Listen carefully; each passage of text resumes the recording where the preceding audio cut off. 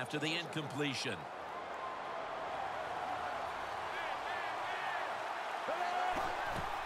Johnson's taking the handoff. Still on his feet. He's in the clear. The 20, the 10, all the way home and all alone. Touchdown.